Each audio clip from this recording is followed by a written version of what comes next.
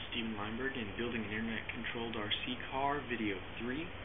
Um, now the last time you saw me, um, I had a completely different um, car chassis. Um, I've, been, I've switched it out for this one in favor of interchangeable parts and um, for the fact that it's lighter and uh, much easier to power.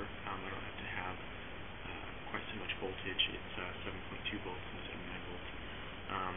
And I've also uh, decided to get rid of the PlayStation 2 controller um, in favor of a Java program that I wrote. Um, and um, I've also finally decided on a way that I can actually control this robot over the internet, uh, which I'll describe to you right now. Um, now the way this works is I have a Java application on the computer which um, sends UDP packets over the internet to uh, an Android phone, and I've written an application that is on the phone which will capture those those packets and then echo those over Bluetooth to the Bluetooth Mate Silver, um, and then via the RxTX lines will send that data to the Arduino to then tell um, the robot what to do. Um, it'll move the pan and tilt servo, it'll move the steering servos, and it'll tell the Arduino shield to move the car forward or move the car backwards. Um, so yeah, that's pretty much the robot. Um, now I'm going to give a, a quick demo.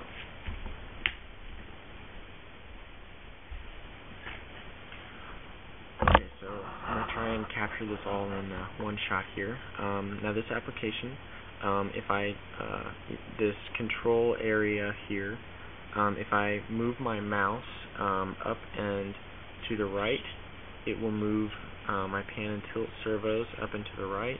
If I move it up and to the left, it will move it up and to the left. If I hit uh, D, it will turn the wheels right. If I hit A, it will turn them left. If I hit W here, it'll drive forward. S, it will move backwards.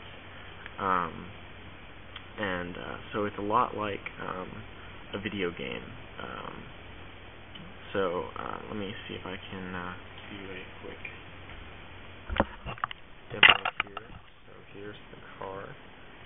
Um, so the uh, pan tilt servo, the servos. So this is me driving it around with the computer. So um, I hit W, moves forward, D, back, front, and forward and left, backwards, right, forward. So um, that is um, the progress that I've made, which I think is actually pretty awesome. Um, so if you have any questions about this, feel free to comment or send me an email or whatever. Um, you can feel free to visit my site at smleimberg.com. That's smleimberg.com. Um, so yeah, that is that concludes our video. Um, I guess I'll see you guys later.